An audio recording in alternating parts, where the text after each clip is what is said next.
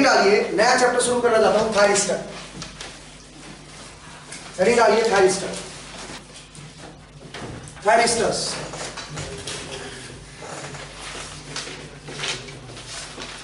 अब ये चैप्टर पढ़ेंगे।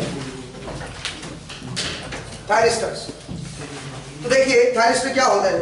सुनो। तो ये सबसे पहले 1957 में आया था अभी थायरिस्टर हमारा पिक्चर में, ठीक है?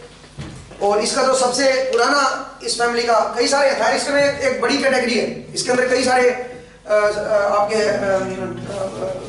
डिवाइसेस होते हैं, ठीक है? कई सारे डिवाइसेस थायरिस्टर के अंदर आते हैं ड्राइव डायक सब के अंदर आएँगे, ठीक है ना? तो जो सबसे जो सबसे पुराना जो इसका फैमिली का मेंबर था, वो था एस सिलिकन कंट्रोल रेक्टिफायर हम उसी के बारे में पढ़ेंगे। एस सिलिकन कंट्रोल रेक्टिफायर ठीक है भाई? ये इसको हम पढ़ेंगे? इसका ये नोटेशन है। ठीक है भाई? सबसे पुराना। डायोड भी है। जी? डायोड भी क्या कह रहे हो? डायोड भी ना थायरिस्टर में एक अलग से एक और कंट्रोल वो होता है ठीक है? बेसिकली ये ये जो जितना भी थायरिस्टर बनेंगे कंट्रोल्ड एलिमेंट बनेंगे। हालाँकि जो SCR है वो क्या है? हाफ़ कंट्रोल्ड ट्रायक जो है वो फुल फुली कंट्रोल्ड है ठीक है ना? SCR आपका हाफ़ कंट्रोल्ड है ठीक है? तो और भी है थायरिस्टर के अंदर, और भी आएँगे आपके। तो मैं पहले एस को जरा एक्सप्लेन करना चाहता हूँ, ठीक है? ये आपका यूनिडायरेक्शनल है और आपका हाफ़ कंट्रोल्ड ठीक है? हाफ़ कंट्रोल्ड ठीक है? हाफ़ कंट्रोल मतलब केवल ऑन कंट्रोल कर पाओगे ऑफ़ नहीं कर पाओगे। अभी देखते हैं कैसे, ठीक है? इसका अगर मैं इंटरनल स्ट्रक्चर दिखाऊँगा आपको, ठीक है? तो इसका, इसमें तीन जंक्शन होते हैं जरा देखिए। इसके तीन जंक्शन होते हैं बेसिकली और एक्चुअल में यहाँ पे क्या होता है?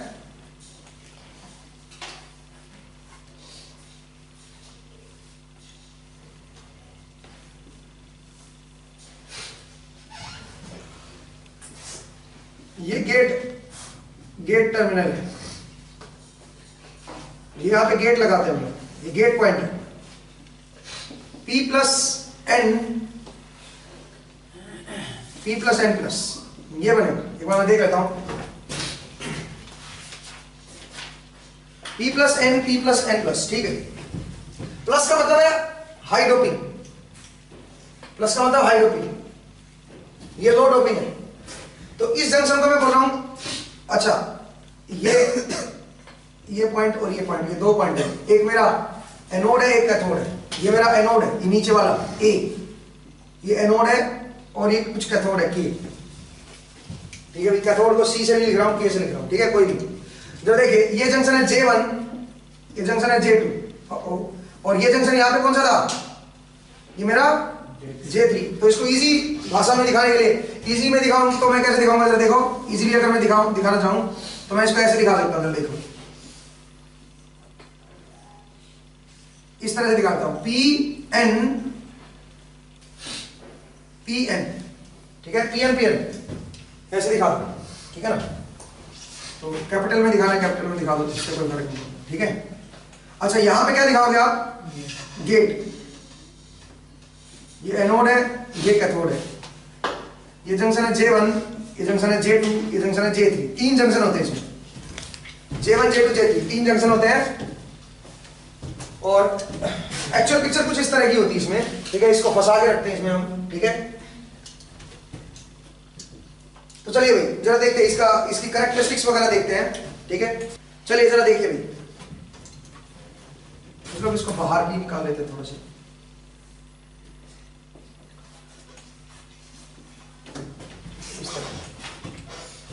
अब जरा देखिए। मैं एक चीज़ बता दूँ, जैसे कोई जंक्शन है पीएन जंक्शन थोड़ा सा आप सुनिए। अगर कोई पीएन जंक्शन है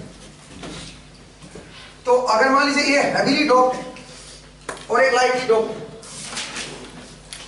तो इस तरफ़ डिप्लीशन लेयर ज़्यादा होगी, इस तरफ़ कम होगी। जो डिप्लीशन लेयर बनेगी ना, वो इस तरफ़ क्यों भाई? क्योंकि इसके होल इधर ज़्यादा डिफ्यूज हो जाएँगे। तो ये ज़्यादा रीजन में क्या होगा यहाँ पे?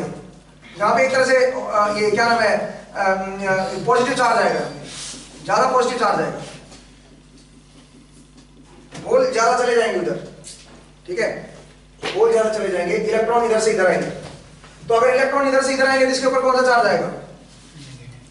नेगेटिव ठीक है ना? सही बात है? ऐसे डिप्लीशन लेयर बनेगी। करेक्ट अभी? किस तरह की डिप्लीशन लेयर बनेगी? जो लाइटली डोप साइड होती है, उसमें ज़्यादा होता है। अब मुझे एक बात बताओ जरा, जैसे ये है, ये, यहाँ पे लाइटली डोप है। तो लाइटली डोप है तो डिप्लीशन लेयर यहाँ पे और यहाँ पे बनेगी, वो ज़्यादातर रीजन किसमें होगा उसका? रीजन में होगा। ठीक है? एन रीजन में ज़्यादा जंक्शन उसका यूज़ होगा, ठीक है? N region basically depletion layer को ज़्यादा कवर करता है करेक्ट है? अब एक और चीज़ सुनिए। जो रिवर्स ब्रेकडाउन होता है डायोड का डायोड का जो ब्रेकडाउन होता है रिवर्स डायरेक्शन में रिवर्स ब्रेकडाउन कुछ इस तरह की होती है ना डायोड की कैरेक्टरिस्टिक्स अगर लाइटली डोप्ड है दोनों साइड तो उसका रिवर्स ब्रेकडाउन वोल्टेज थोड़ी सी क्या रहेगी? ज़्यादा रहेगी, ठीक है? आप ये नोट कर लीजिए पॉइंट लिख लीजिए इस पॉइंट को मैं लिखवा देता हूँ। The junction with lightly layers the junction with lightly doped layers bracket में लो at least one of the side of junction अगर एक भी साइड जंक्शन की लाइटली डॉप्ड है, अगर एक भी साइड लाइटली डॉप्ड है ना तो उस केस में बता रहा हूँ junction with lightly doped layers bracket में लिखो at least one side of the junction bracket में लिखो at least one side of the junction फिर से बोलो। Junction with lightly drop dope layers lightly dope layers उसके ब्रैकेट में लिख लो at least one side of the junction requires large breakdown voltage requires large breakdown voltage अगर एक भी side lightly doped है तो उस जंक्शन को जो ब्रेकडाउन वोल्टेज चाहिए रिवर्स ब्रेकडाउन रिवर्स में जो ब्रेकडाउन होता है, उसको लार्ज वोल्टेज चाहिए। ये याद रखिएगा, ठीक है? और लिखिए the junction with highly doped layer on both side require highly doped side on both side require low breakdown voltage. Require low breakdown voltage. याद रहेगा ये पॉइंट अब सुनिए मेरी बात, जैसे कि देखो यहाँ पे। यहाँ पे देखो, इस पॉइंट पे। P plus N plus P plus अगर मान लीजिए ये जंक्शन रिवर्स बायस होता है, एक मिनट के ऐसे मान के चलो तो इसकी जो ब्रेकडाउन वोल्टेज होगी वो क्या होगी? तो मैंने आपको बताया, सुनिए। यहाँ पे, ये जो जंक्शन है जे थ्री इसमें दोनों तरफ़ हैवीली डोप्ड है।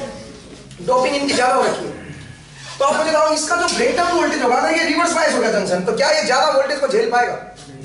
नहीं, बहुत जल्दी ब्रेकडाउन हो जाएगा इसका, ठीक है ना? ये जंक्शन अगर रिवर्स हुआ तो झेल सकता है ये, क्योंकि एक तरफ़ लाइटली डोप साइड है। और ये जंक्शन भी, ये भी झेल सकता है, क्योंकि एक तरफ़ लाइटली डोप साइड है। ध्यान रखिएगा ये ज़रूरी इंफॉर्मेशन है ठीक है? ज़्यादा कौन लोग है जी? नहीं सबसे ज़्यादा का अब हिसाब नहीं पड़ेगा। वो क्योंकि एक बार फोर्ड बायस होगा तो अलग अलग अलग जंक्शन आपके रिवर्स बायस होंगे। और रिवर्स बायस होगा तो अलग अलग जंक्शन रिवर्स बायस होंगे। तो देखते हैं ठीक है? इसमें सबसे ज़्यादा का हिसाब किताब नहीं हम देख सकते सर दोनों साइड हाई डोपिंग से ब्रेकडाउन वोल्टेज लो ही हो सकता है जी? दोनों साइड हाई डोपिंग से। दोनों साइड हाई डोपिंग अगर कर दी तो ब्रेकडाउन वोल्टेज लो हो जाएगा। बेसिकली उसका जो एवरेज ब्रेकडाउन होता है ना डिप्लीशन लेयर जा, तो ज़्यादा होगी मतलब क्योंकि बट मैं ये कह रहा हूँ कि जो एवरेज ब्रेकडाउन होता है उसकी करेक्टरिस्टिक उसमें लगेंगी। जो आपने पढ़ा नहीं वो ईडीसी में आता है वैसे। ठीक है आपकी ईएस के सिलेबस में है। बेसिकली वो एक तरह से उनमें उसमें क्युमुलेटिव एक्शन होता है।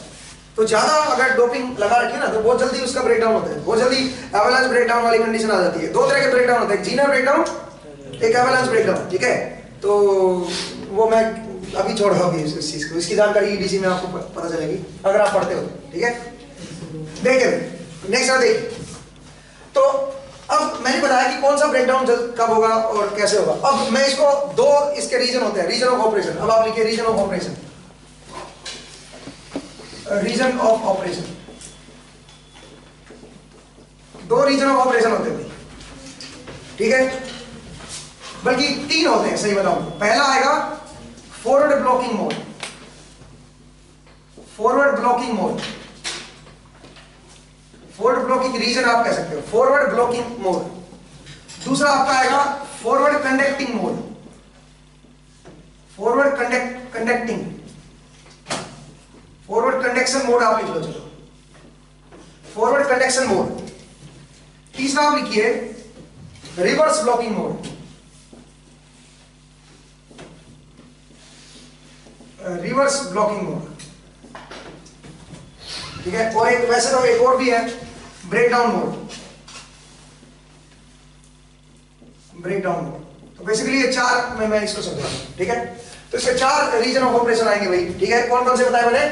Forward blocking mode forward conduction mode reverse blocking mode and breakdown mode तो जरा देखिए कैसे।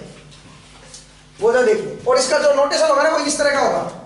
एनोड एनोड मेरा नीचे है भाई तो अगर मैं दिखाऊँगा तो इसको इस तरह से दिखाऊँगा और ये मेरा गेट है। ठीक है ना? ऊपर एनोड है, नीचे कैथोड है। ठीक है?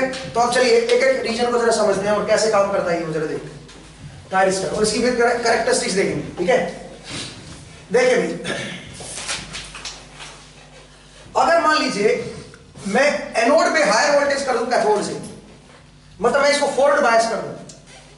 ठीक है? एनोड पे हायर वोल्टेज कर दूँ कैथोड से। ये मेरी वी ए के वोल्टेज है। Voltage V A K A K का मतलब क्या एनोड टू कैथोड वोल्टेज और ये करंट है। आई ए के आप ये कह सकते हैं। एनोड टू कैथोड करंट ठीक है? तो जरा देखिए, अगर मैं इस वोल्टेज को हायर कर दूँ इससे ठीक है? जैसे मान लीजिए आपने वोल्टेज लगा दी, कुछ या 10 या 15 वोल्ट लगा दी। मान लीजिए, कुछ भी एक मिनट के लिए ऐसे मान लो। ठीक है? हालाँकि चलो 10 या 15 वोल्ट मैंने लगा दी। मान लीजिए एक मिनट के लिए ऐसे रफ मैं ले रहा हूँ, ठीक है? तो क्या होगा उस टाइम मान लीजिए आपने 10 वोल्ट है। वोल्ट बैटरी लगाई है 10 वोल्ट की। इमेजिन करो ऐसे मान के देखो। तो मैं ये कह सकता हूँ कि ये वाला पॉइंट इधर वाले पॉइंट से 10 वोल्ट हायर है। आप ये कह सकते हो? इसका मतलब अगर मैं इसको ज़ीरो मानूं तो ये कितने पे आएगा? टेन वोल्ट अब यहाँ पे टेन है, यहाँ पे ज़ीरो इसका मतलब यहाँ से यहाँ तक वोल्टेज क्या होती आ रही होगी? डिक्रीज होती आ रही ड्रॉप होती आ रही है। और वोल्टेज कभी भी अब्रप्टली चेंज नहीं होती। क्यों नहीं होती वोल्टेज अब्रप्टली चेंज क्योंकि अगर वोल्टेज पोजीशन के रेस्पेक्ट में एक्स के रेस्पेक्ट में अगर अब्रप्टली चेंज होगी तो उस पॉइंट पे जो इलेक्ट्रिक फ़ील्ड होगी डीवी बाई डी एक्स वो क्या होनी पड़ेगी? पॉइंट फाइव क्योंकि एक्स में तो चेंज ज़ीरो है और वोल्टेज में एकदम से बदलाव हो गया। तो इलेक्ट्रिक फ़ील्ड कितनी हो जाएगी बता जरा? इलेक्ट्रिक फ़ील्ड इनफाइनाइट हो जाएगी। तो ऐसा पॉसिबल नहीं है। इसका मतलब वोल्टेज कभी भी अब्रप्टली चेंज नहीं होती वोल्टेज ग्रेजुअली चेंज होती है। अब बताओ, इसका मतलब यहाँ पे अगर 10 है तो यहाँ पे ज़ीरो है तो इसका मतलब 10 से ज़ीरो पे ग्रेजुअली डाउन हो रही है। इसका मतलब मैं मान सकता हूँ, यहाँ पे 10 है तो यहाँ पे 8 होगी, यहाँ पे 7 होगी, यहाँ पे 6 होगी, यहाँ पे 5 4 3 2 1 और फिर यहाँ पे क्या आ गई? ज़ीरो क्या कर सही बात है? इसका मतलब क्या होती जा रही है? बताओ जरा। ग्रेजुअली डाउन होती जा रही है। कोई दिक्कत तो नहीं? अब आइए इस जंक्शन पे। इस जंक्शन के एक साइड है सेवन वोल्ट और एक साइड है सिक्स वोल्ट तो आप मुझे बताओ, ये जंक्शन ऊपर पी है, नीचे एन है? पी पे हायर है एन पे लोअर है? तो पी पे हायर और एन पे लोअर है तो क्या होता है जंक्शन फॉरवर्ड बायस इसका मतलब जंक्शन J1 क्या रहेगा? फॉरवर्ड बायस जंक्शन J1 रहेगा फॉरवर्ड बायस अगर मैंने VAK को पॉजिटिव किया, आप लिखिए VAK is greater than zero अगर V VAK greater than zero है तो जंक्शन J1 क्या होगा? J1 आपका फॉरवर्ड बायस होगा। फोर्ड बायस होगा। J1 आपका फोर्ड बायस हो जाएगा। क्यों भाई? क्योंकि P पे हायर है, N के कंपैरिजन में। ठीक है नेक्स्ट आप आइए। जंक्शन J2 पे। J2 पे ऊपर 4 वोल्ट है, नीचे 3 वोल्ट है। इसका मतलब जंक्शन J2 पे N पे हायर है, P के कंपैरिजन में। इसका मतलब क्या रहेगा ये? रिवर्स बायस रहेगा। जंक्शन J2 क्या रहेगा? रिवर्स बायस ये होगा रिवर्स बायस ठीक है जी? जंक्शन J2 आपका रिवर्स बायस रहेगा। नेक्स्ट आइए आप जंक्शन J3 पे। यहाँ पे देखो J3 या फिर यहाँ पे देख लो, कोई नहीं। ऊपर 2 वोल्ट है, नीचे 1 वोल्ट है। इसका मतलब P पे हायर है, ऊपर वाला रीजन तो P रीजन था ना, नीचे वाला है P पे हायर है, N के कंपैरिजन में। इसका मतलब अगेन क्या रहेगा ये? फॉरवर्ड बायस इसका मतलब जंक्शन J3 क्या रहेगा? अगेन आपका फॉरवर्ड बायस फॉरवर्ड बायस आपको क्या लगता है, क्या करंट फ्लो करेगा? नहीं। क्यों? ये जंक्शन तो फॉरवर्ड बायस है, पर J2 जो है, वो रिवर्स बायस है। इसका मतलब जंक्शन J2 जो है, वो करंट को फ्लो नहीं करने देगा। समझ इसका मतलब जो मेरा जो मेरा जो मेरा ये ये एलिमेंट है, जो भी आप इसको डिवाइस बोलो, जो मेरा डिवाइस है, वो फोर्ड बायस तो हो रखा है। एनोड पे आया रखा है थोड़ से? फोर्ड बायस है बट करंट फ्लो नहीं हो रहा। इसलिए इस रीजन को हम क्या बोलेंगे? Forward blocking mode forward blocking mode block mode नहीं blocking mode forward blocking mode ठीक है भाई इसका मतलब ब्लॉकिंग मोड में है फोर्ड बायस बट ये कौन से मोड में रहेगा? ब्लॉकिंग मोड में रहेगा। ये कंडक्ट कब करेगा बताओ? कंडक्शन मोड में कब आएगा? जब तीनों क्या हो जाए? कंडक्ट करने लग जाए। जब Z2 का ब्रेकडाउन हो जाए। क्योंकि जे टू फोल्ड बायस तो हो नहीं सकता। अगर आप एनोड पे हाई रखोगे कैथोड से तो जे टू फोल्ड बायस तो हो नहीं सकता। J two always reverse bias होगा। तो फिर कंडक्ट कैसे होगा? ऑब्वियसली क्या हो? ये ब्रेक डाउन हो जाएगा। अगर ये ब्रेक डाउन हो गया तो फिर कंडक्शन होना पड़ेगा। नहीं समझे? तो इसका मतलब क्या होगा? फॉरवर्ड कंडक्शन मोड कब आएगा? फॉरवर्ड कंडक्शन मोड आएगा अगर जे टू का ब्रेक डाउन हो जाए तो। तभी फॉरवर्ड कंडक्शन मोड आएगा अदरवाइज़ फॉरवर्ड कंडक्शन मोड नहीं आएगा। तो अगर मैं इसकी करेक्टरिस्टिक्स प्लॉट करूँ तो चलो देखिए। मैं वी ए को पॉजिटिव बना रहा हूँ। तो क्या करंट आएगा? नहीं। क्यों नहीं आएगा current because of junction J two तो करंट जो आएगा वो बहुत ही कम आएगा मतलब नेग्लिजिबल लीकेज करंट आएगा। लीकेज का करंट आएगा थोड़ा बहुत लीक करता रहता है। लीकेज करंट ठीक है? रिवर्स डायरेक्शन ये जंक्शन जे टू रिवर्स आएगा ना? अब सुनो, अगर मैं वोल्टेज को बढ़ाता ही गया, मज़े लेते रहा मैं तो क्या हुआ? एक पॉइंट ऐसा आएगा कि, देखो ये तो शॉर्ट हो जाएगा, एक तरह से।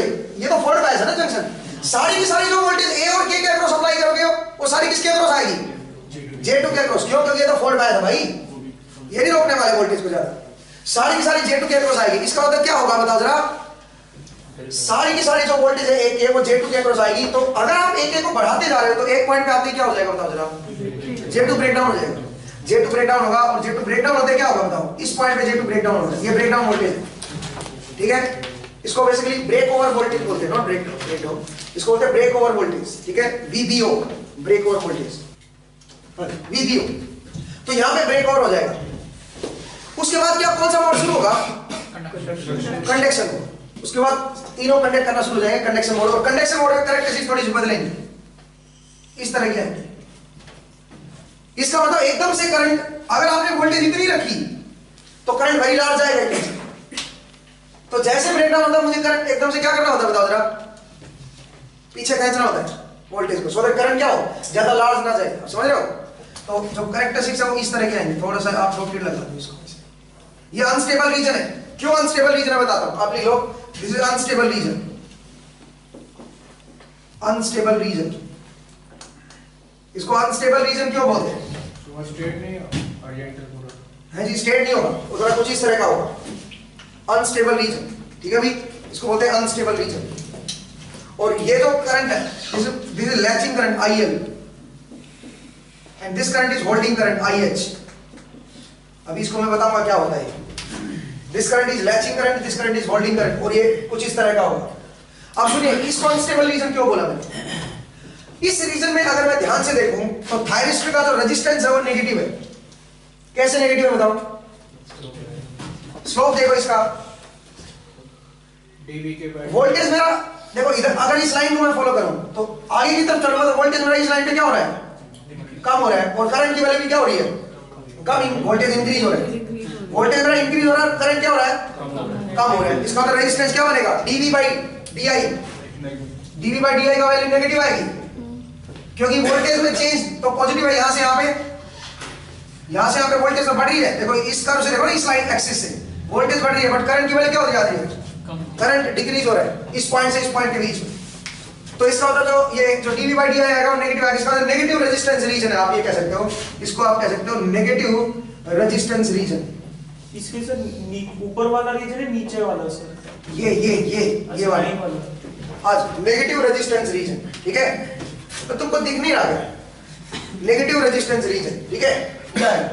इस रीजन में ऑपरेट नहीं करेंगे हम लोग। इसमें क्या होगा? ये एकदम से मोमेंटली होता है बेसिकली ठीक है? तो ये रीजन ऑपरेटिंग रीजन नहीं है ऑपरेटिंग नहीं करेंगे। तो मैंने आपको बताया कि कैसे आपका ये, कैसे आपका ये फॉरवर्ड ब्लॉकिंग और फॉरवर्ड कंडक्शन मोड आता है, ठीक है? तो कंडक्शन मोड कब आएगा? जब जंक्शन जे का ब्रेकडाउन हो जाएगा। ठीक है भाई अब आइए।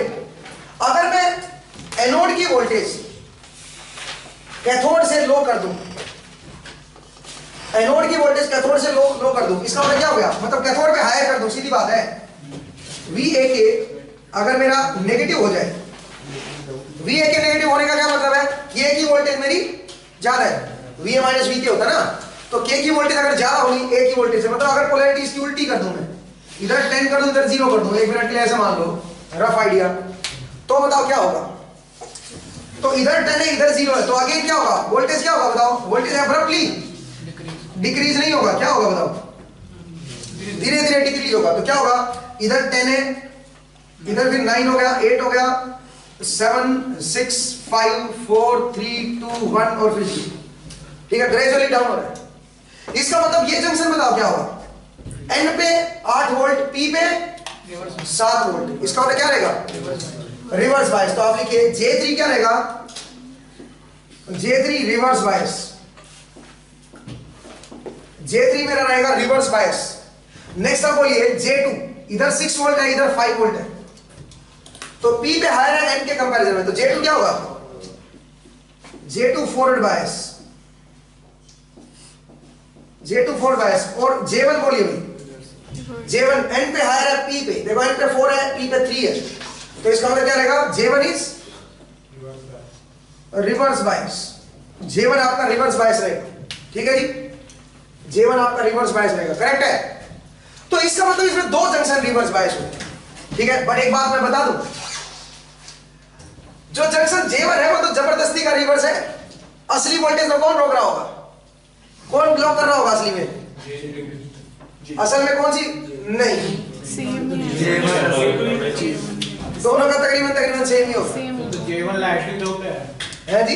पहला P1 लाइटली डोप्ड है। नहीं सेम है। heavily doped कौन सा पहला पीरियड सबसे ऊपर वाला P ये वाला लाइटली क्यों डोप्ड है ये हेवीली डोप्ड है। थोड़ा सा मैं बता दूँ डोपिंग कंसंट्रेशन बता देता हूँ। उससे आपको आईडी लग जाएगा कौन सा कौन सा है। सुनो इसमें जो इसमें जो डोपिंग कंसंट्रेशन होती है पहले वाले में वो होती है 10 टू पावर 19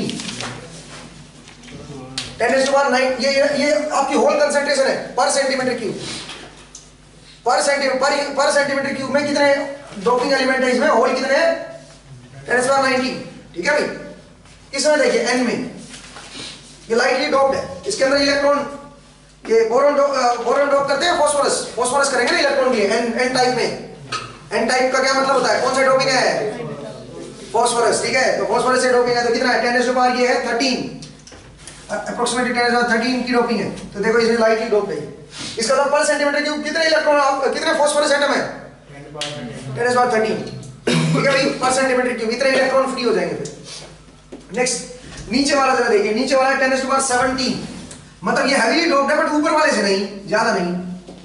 10 टू पावर 17 और नीचे वाला, सबसे जो नीचे है, वो है 10 to power 19 electrons per centimetre cube इसमें ये कंसंट्रेशन तो अब जरा देखिए अब मुझे एक बात आइए इन दोनों कौन कौन से जंक्शन रिवर्स बायस थे एक J3 और एक J1 तो J3 पे देखिए J3 पे एक तरफ़ 10 टू 19 है एक तरफ़ 10 टू 17 है। और इसमें एक तरफ़ 10 टू 13 है और एक तरफ़ 10 टू 19 है। तो मेरे हिसाब से J1 ज़्यादा ब्लॉक करेगा। क्योंकि देखो 19 19 तो दोनों तरफ़ है ही दोनों में। एक में क्या अटेंडेंस था 13 है, एक तरफ़, और एक में क्या अटेंडेंस था 17 तो इसका मतलब ये जो रिवर्स होगा, ये ज़्यादा ब्लॉक नहीं कर पाएगा ज़्यादा। ये ज़्यादा होल्ड नहीं कर पाएगा रिवर्स को समझ रहे हो? तो इसका मतलब मेन तो कौन ब्लॉक करेगा इसमें?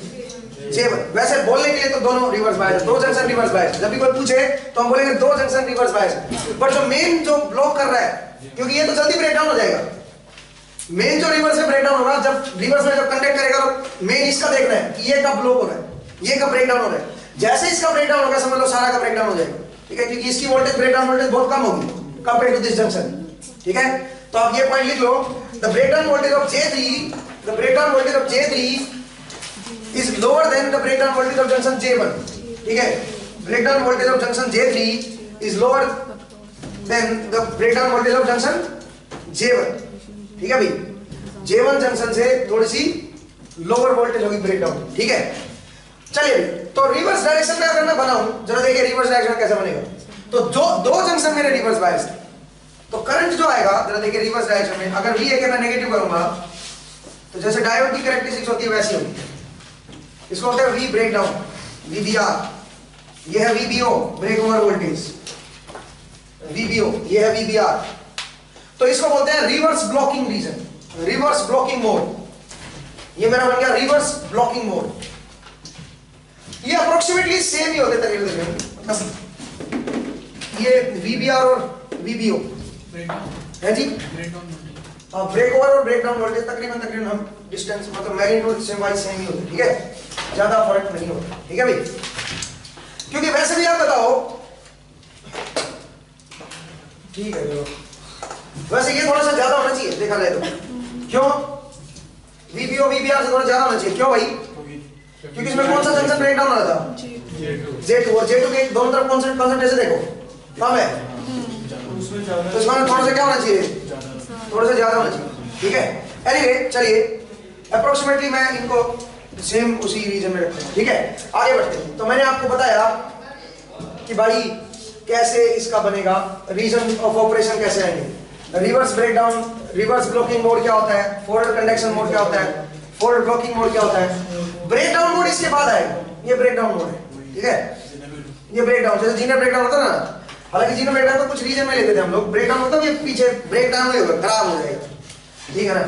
तो वो ब्रेकडाउन रीजन अलग है। इसको तो आप काउंट करो चाहे मत करो, वो ज़रूरी नहीं है। मेन तो तीन रीजन अब सुनो, आप बोलोगे, सर, फिर तो ऑन करना तो महाभारत है इसको। क्यों भाई? क्योंकि ऑन करने के लिए क्या होना चाहिए बताओ? ऑन करने के लिए ब्रेक और वोल्टेज से ज़्यादा वोल्टेज लगानी पड़ेगी ना पहले। तब जाके जंक्शन J2 जो होगा फोर्ड ब्लॉकिंग मोड में आ जा- देखो, जैसे आप इसको फोर्ड बैच करोगे, ये कौन से मोड में आएगा? फोर्ड ब्लॉकिंग मोड में। ये कंडक्ट नहीं करेगा अभी। कंडक्ट करने के लिए ज़रूरी क्या है? एक बार ब्रेकडाउन हो। कौन से जंक्शन का ब्रेकडाउन हो? J2 का ब्रेकडाउन हो। तब जाके कंडक्ट करना शुरू करेगा अदरवाइज़ ये कंडक्ट नहीं करेगा। तो अब क्या करना पड़ेगा मुझे बताओ? ये तो मुसीबत है फिर। मतलब फॉल्ट वोल्टेज मुझे ज़्यादा अप्लाई करनी पड़ेगी। अब मान लीजिए मैंने वोल्टेज यहाँ तक अप्लाई कर दी और एकदम से कंडक्ट करना शुरू कर दिया।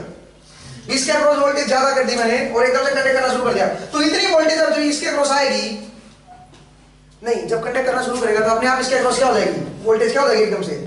जब कोई चीज़ जैसे डायोड कंडक्ट करना शुरू करता है तो उसके अक्रॉस वोल्टेज क्या होती है? एकदम से कम नहीं होती? तो एकदम से अपने आप वोल्टेज क्या हो जाएगी? कम हो जाएगी। बट फिर भी कुछ तो टाइम लगेगा ना उसको। तो उसमें क्या आएगा? एकदम से पल्स आएगा करंट का ज़्यादा और वो उसको खराब कर सकता है आप समझ रहे हो? ये जो एकदम से ज़्यादा वोल्टेज जो है ना, जैसे ही ऑन होगा, इसके अंदर थोड़ी सी स्टिल थोड़ी ज़्यादा वोल्टेज रहेगी करंट उस पर क्या आएगा फिर? करंट एकदम से बढ़ सकता है लार्ज हो सकता है। तो कुल मिला के मैंने ये बोला कि ये जो तरीका है ब्रेक और वोल्टेज वाला, कि इससे ज़्यादा करो, ये थोड़ा अच्छा तरीका नहीं है।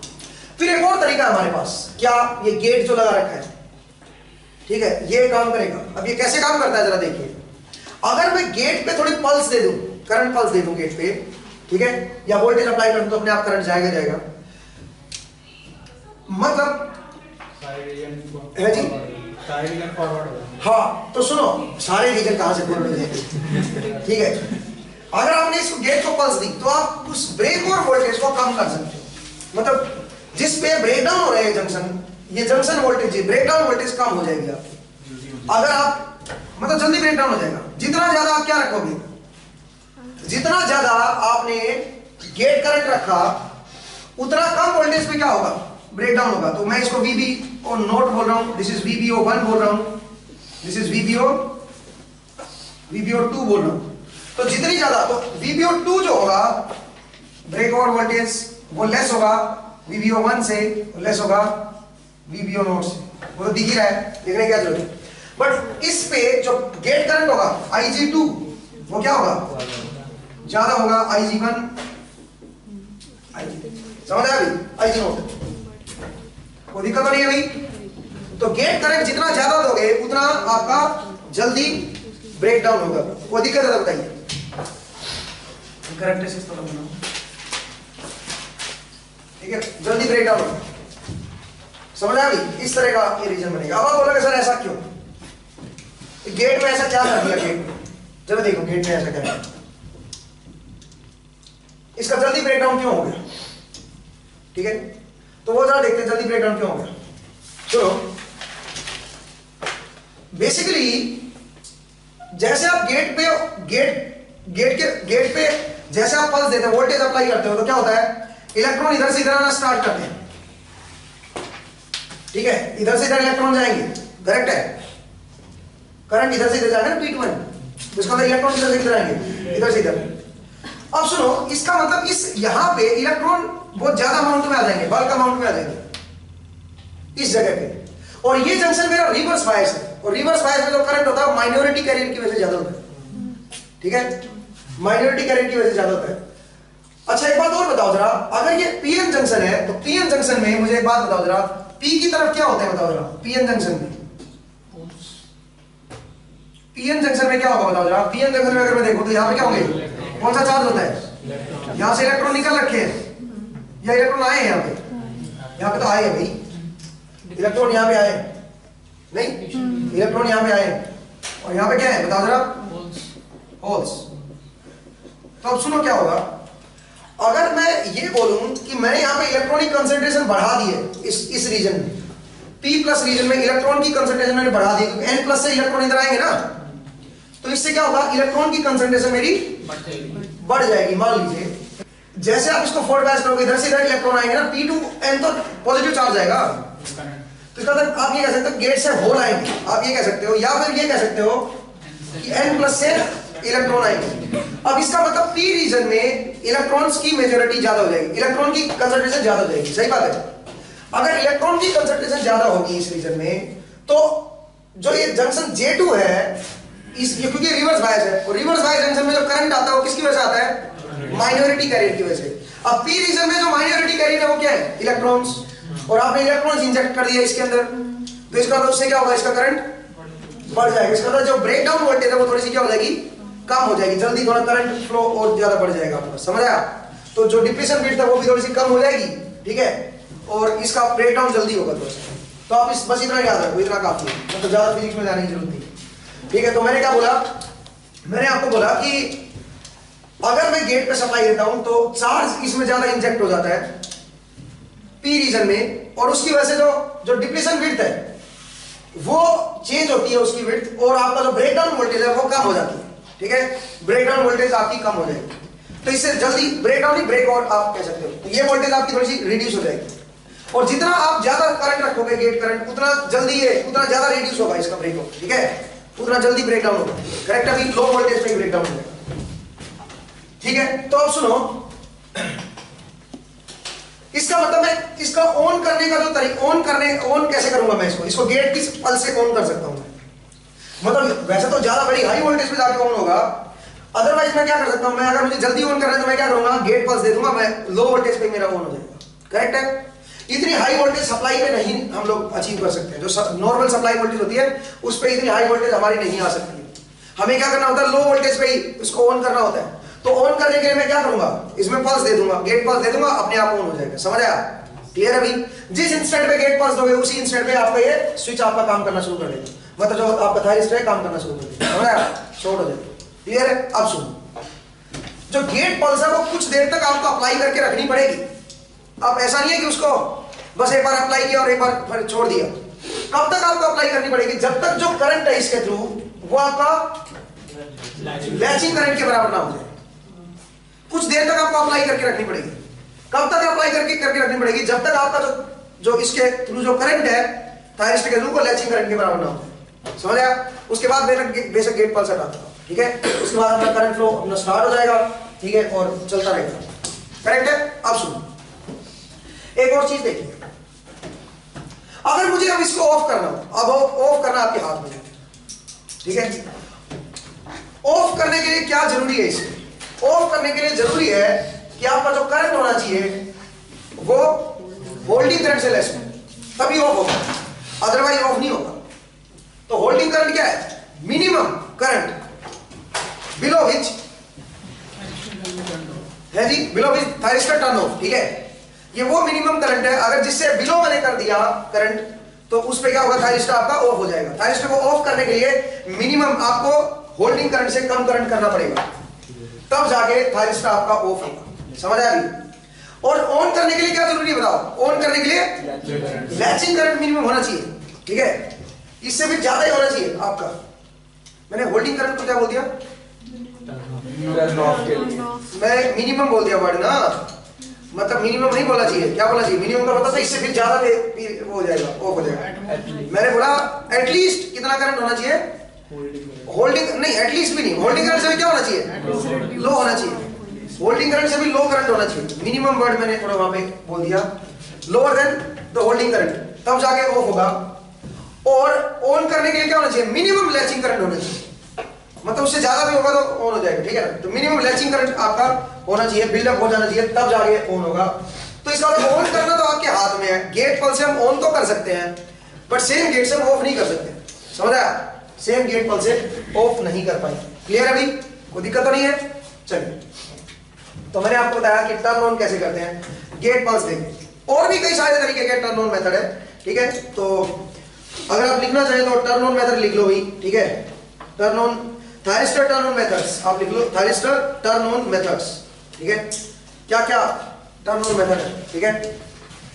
टर्न ऑन मेथड लिख लो. थायरिस्टर टर्न ऑन मेथड आपको समझ आएगा पूरी कहानी? ठीक है? कि कैसे काम करेगा ये, कब कंडक्ट करेगा?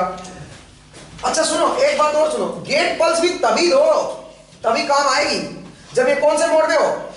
फॉरवर्ड ब्लॉकिंग मोड में हो. फॉरवर्ड ब्लॉकिंग मोड में हो और आपने गेट पल्स दे दी। तब कंडक्ट करेगा ये। अदरवाइज़ कंडक्ट नहीं करेगा, ध्यान रखिए।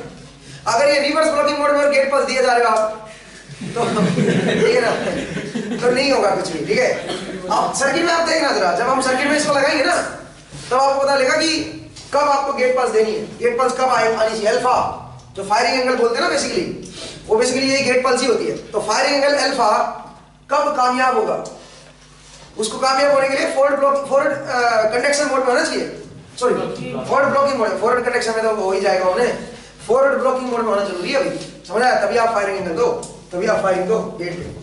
चलिए, अब जरा देखते हैं के ये, और टर्न ऑन के क्या क्या मेथड है। सबसे पहला मेथड लिखिए। सबसे पहला मेथड है forward voltage triggering forward voltage triggering thyristor turn on methods मैं लिखवा रहा हूँ। थायरिस्टर टर्न ऑन मेथड्स तो सबसे पहला लिखिए, क्या है? Forward voltage triggering forward voltage triggering इसका क्या मतलब है जब देखो। इसका मतलब यह है कि आप क्या करो, जो ब्रेक और वोल्टेज है मिनिमम उतना फॉरवर्ड बायस कर दो इसको।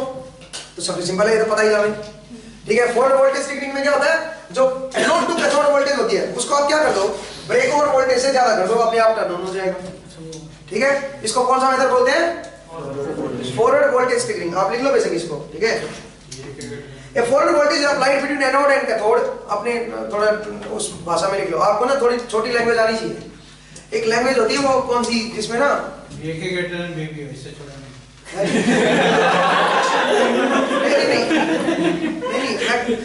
बता रहा सीखते हैं बोलते कि कुछ लैंग्वेज कुछ तो ऐसी हैं। मतलब कुछ वर्ड तो ऐसे पूरी लाइन को ही एक उससे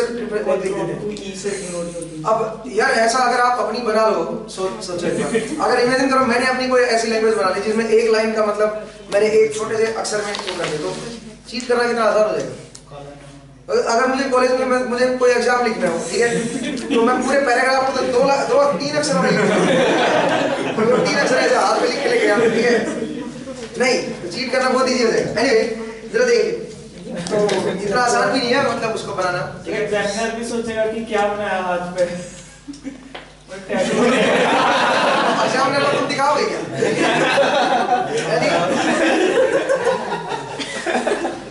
चलिए भाई लिखिए।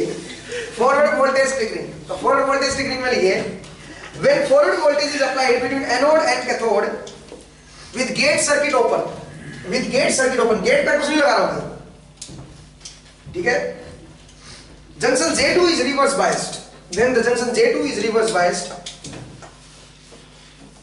So the depletion layer will be formed across J2. Depletion layer will be formed across J2. सारी लाइन मत लिखो काम काम की चीज़ लिखो ठीक है ना आप लिखो when VAK is positive with gate circuit open when VK VAK is greater than zero with IG zero ये थोड़ा कॉमन सेंस लगाओ ना आप अपने आप लिखो with IG zero then junction J2 will be reverse biased junction J2 will be reverse biased so the depletion layer is formed across junction J2 depletion layer formed across junction J2. Now if VAK is increased gradually, if VAK is increased gradually, now if VAK is increased gradually, a stage comes, a stage comes when the depletion layer across junction J2 vanishes.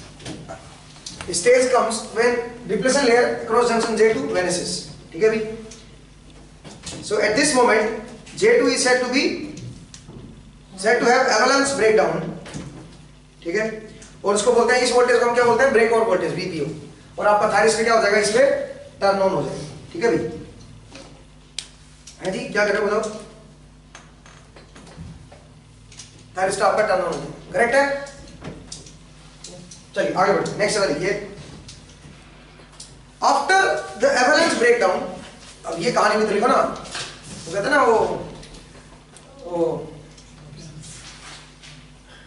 अरे, शादी के बाद की कहानी सब दिखाते हैं। नहीं शादी से पहले की कहानी नहीं दिखाते वो कौन सी मूवी थी? वो प्यार का पंचनामा। नहीं नहीं प्यार का पंचनामा में कौन सी कहानी शादी के क्या बोल? रहा बाद। हूँ है जी शादी से पहले की सब दिखाते हैं। शादी के बाद की दिखाते हैं। है जी क्या कह रहे हो?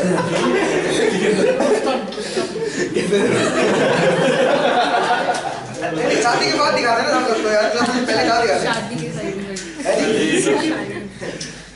पता नहीं उसमें एक डायलॉग सी है, पता नहीं।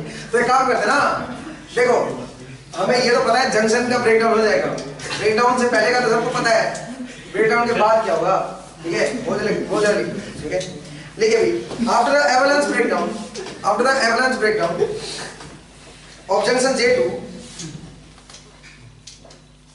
this junction loses the blocking capabilities reverse blocking capabilities को लूज कर देगा भाई अगर इसका एवलांस ब्रेकडाउन हो गया तो फिर ये रिवर्स ब्लॉकिंग कैपेबिलिटीज जो थी इसकी, वो वो आपकी लूज कर देगा। After the avalanche breakdown junction J2 loses its reverse blocking capabilities, ठीक है? So if the anode voltage is reduced from VBO VBO जो ब्रेक ओवर वोल्टेज जो आई थी, उस वोल्टेज से अगर मैं एनोड का रिड्यूस भी करूँगा, तब भी क्या होगा बताओ? कंडक्ट करता रहेगा बिकॉज़ उसने अपनी ब्लॉकिंग कैपेबिलिटीज क्या कर दी हमको? खत्म कर दिया समझ रहे हो? तो लिख लो if the anode voltage is reduced below VBO SCR will continuous conduction for the SCR will continue conduction of the current SCR will continue conduction SCR will continue conduction of the current अब बताओ, अब R को turn of कैसे करेंगे? तो आप लिख लो S C R now Okay, SCR can now be turned off only by reducing the anode current anode current below a certain value called the holding current. The, the SCR can now SCR can now be turned off only by reducing only by reducing the anode current below a certain value certain definite value certain value called holding current called holding current. मतलब आपको अब क्या करना पड़ेगा? Anode current को holding current से below करना पड़ेगा, तभी जाके टर्न ऑफ़ होगा। तो ये पहला मेथड था। कौन सा? ये था आपका फोर्ड वोल्टेज ट्रिगरिंग नेक्स्ट आप लिखिएगा गेट ट्रिगरिंग गेट ट्रिगरिंग तो गेट ट्रिगरिंग पता ही है यार, मैं लिखवाऊँगी आपको। ठीक है? लिखवाने की ज़रूरत नहीं है, ठीक है? चलिए गेट ट्रिगरिंग सबको पता है, ठीक है? नेक्स्ट जरा देखिए। एक पॉइंट लिख लो। इक्वेशन में कौन सी है? जी? एक पॉइंट लिख लो जरा, देखिए। If the gate current is remove इसमें एक पॉइंट लिख लो। If the gate current is remove if the gate current is remove before the rising of anode current to a certain value called latching current if the gate current is removed before the rising of anode current to a certain value called latching current. If the gate current is removed before the rising anode current attains a value, attains a certain value called latching current, the thyristor will turn off again. Thyristor will turn off again.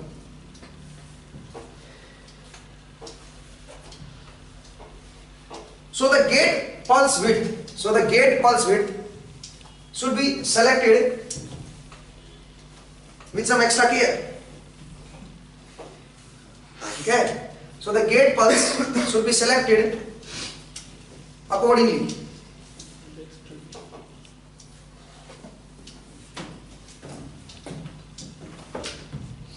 सही है भाई आगे बढ़े तो holding current और latching current मैंने बता दिया। नेक्स्ट आप लिखिएगा, dv by dt triggering dv by dt triggering एक और होती है dv by dt ट्रिगरिंग ये मैं किसके लिए लिखवा रहा हूँ, पता है? गेट में कोई नहीं पूछने वाला इनको वैसे कई बार ज़रूरत होती है, ठीक है? dv by dt ट्रिगरिंग देख लीजिए। अब सुनो डीवी बाई डी ट्रिगरिंग का क्या मतलब है? सुनेगा मुझे एक बात आइए अगर मैं ये बोलूँ कि जंक्शन J1 और J3 ये तो फोल्ड बायस है ना? जंक्शन J1 और J3 तो फोल्ड बायस है तो जो भी आप वोल्टेज अप्लाई करोगे एनोड टू कैथोड सारी की सारी किसके क्रॉस आएगी? J2 के क्रॉस और J2 में एक डिप्रेशन विड्थ है इस तरह की। ठीक है? एक तरफ़ है ना एक तरफ़ प्लस है। इस तरह की विड्थ है और इस विड्थ में क्या है? चार्जेस हैं। एक तरह से आप कह सकते हैं एक तरफ़ नेगेटिव चार्ज है एक तरफ़ पॉजिटिव चार्ज है। ठीक है? तो इसका मतलब एक तरह का कैपेसिटेंस बना हुआ है। एक तरह का कैपेसिटेंस जंक्शन कैपेसिटेंस बन गया यस अब सुनो अगर कोई कैपेसिटेंस होता है तो उसमें जो करंट होता है वो क्या होता है? सी डीवी बाई डी तो जो भी अगर मैं यहाँ पे वोल्टेज अप्लाई करूँगा अगर उस वोल्टेज को वो मेरी वोल्टेज छोटी है वोल्टेज का मैग्नीट्यूड बड़ा नहीं है ब्रेक और वोल्टेज से काफ़ी कम है वो वोल्टेज बट मैं उसको अगर मैं एकदम से अप्लाई करूँ तो जैसे voltage anode to cathode apply करोगे एकदम से वो सारी सारी वोल्टेज किसके थ्रू आएगी? एकदम से किसके थ्रू अप्लाई करोगे? इस कैपेसिटर के थ्रू अप्लाई करोगे. उससे क्या होगा बता जरा उससे जो करंट आएगा इसके थ्रू वो क्या होगा? ज़्यादा आएगा. क्योंकि अगर आप एकदम से अप्लाई करोगे, कम वोल्टेज है बट कम टाइम में अप्लाई कर रहे हो तो डीवी बाई डी बढ़ जाएगा ना। मान लीजिए आप 10 वोल्ट अप्लाई कर रहे हो बट जो टाइम ले रहे हो, वो मान लीजिए 0.5 माइक्रो सेकंड ले रहे हो। तो आप बताओ डीवी बाई डी क्या बनेगा? लार्ज बन जाएगा ना। एकदम से अप्लाई कर रहे हो, एकदम से अप्लाई हो रही है इसके क्रॉस ठीक है? तो उससे क्या होगा, जो करंट आएगा इसके थ्रू जंक्शन के थ्रू वो क्या आएगा? लार्ज आएगा, और उससे क्या हो सकता है, ये आपका थैरिस्टर टर्न ऑन हो सकता है। ठीक है? तो कैरिस्टर टर्न हो सकता तो आप ये लिख लो। इसको पता नहीं, आप कैसे लिखोगे मुझे नहीं पता। आप लिख लो भाई इसको, ठीक है? है जी? इसको होता है DV by D triggering DV by D triggering ठीक है? If the rate of rise of forward voltage if the rate of rise of forward voltage DV by D if the rate of rise of forward voltage DV by D is high the charging current IC the charging current of the junction capacitor, the charging current of the junction capacitor will be high. If the rate of rise of fault voltage dV by dt is high, then the charging current of the junction capacitor will be more, will be more. This current, this charging current plays the role of the gate current and turn on this charging current plays the role of the gate current. ये जो charging current है, ये gate current का role play करेगा। And turn on and turns on the S C R even though the gate signal is zero even though the gate signal is zero समझ आ रही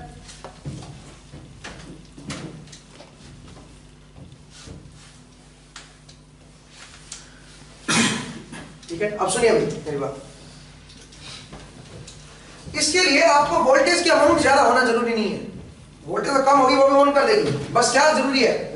Rate of rise DV by D वो क्या होना चाहिए? वो थोड़ा ज़्यादा होना चाहिए। ठीक है? वो वो थोड़ा ज़्यादा होना चाहिए। नेक्स्ट आप देखिएगा। नेक्स्ट है टेम्परेचर ट्रिगरिंग ठीक है? नेक्स्ट आप लिखिए।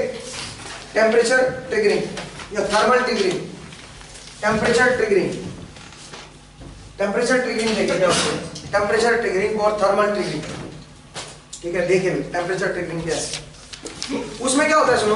देखो, यहाँ पे क्या होगा? रिवर्स है junction J two forward block mode तो इससे लीकेज करंट आ रहा है। अगर मैं इस जंक्शन को समहाउ कोई गर्म करना शुरू कर दूँ तो उससे लीकेज करंट बढ़ेगा। और लीकेज करंट बढ़ेगा तो धीरे धीरे क्या हो जाएगा? धीरे धीरे आपका करंट बिल्डअप हो जाएगा और वही एक तरह से ब्रेक डाउन कर देगा। जल्दी ब्रेक डाउन हो जाएगा ठीक है? तो आप ये लिख लो थर्मल ट्रिगरिंग में लिखेगा as the temperature of junction J2 increases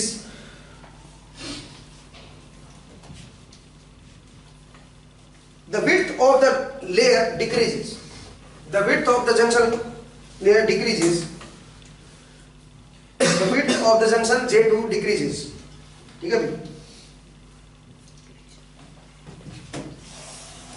this further leads to more leakage current this further leads to more leakage current उससे leakage current आपका बढ़ जाएगा and therefore more junction temperature जितना ज़्यादा लीकेज करंट बढ़ेगा उतना ज़्यादा जंक्शन टेम्परेचर और बढ़ेगा क्यों बढ़ेगा क्योंकि जंक्शन का अपना एक रेजिस्टेंस की तरह आप दिखा सकते हो उसको। तो करंट अगर उसमें बढ़ेगा जंक्शन में तो उसका स्क्वायर वो भी बढ़ेगा। समझ रहे हो? तो और ज़्यादा टेम्परेचर बढ़ेगा। ठीक है? सो विद कॉम्युलेटिव प्रोसेस तो एक दूसरे को एनहांस करेगा। टेम्परेचर करंट को बढ़ाएगा लीकेज को। लीकेज करंट फिर से टेम्परेचर को बढ़ा देगा। तो एक तरह से कौन सा एक्शन होगा? क्युमुलेटिव एक्शन होगा। मतलब पॉजिटिव फीडबैक मिल जाएगी। उससे क्या होगा? धीरे धीरे आपका करंट लीकेज करंट आपका बढ़ता चला जाएगा। समझ आया और वही लीकेज करंट आपका मेन डायोड करंट हो जाएगा। मेन एनोड करंट हो जाएगा। ठीक है भाई? कोई दिक्कत हो नहीं आगे बढ़ सकते हैं?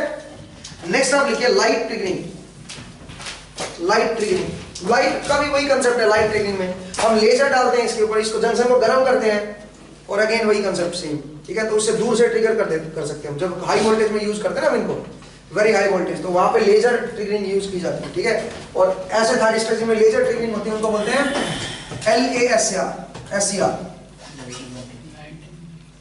हाँ जी। आप लिख लो, उनको बोलते हैं एल ए एस आर ठीक है? Light activated S R light activated S R ठीक है भाई?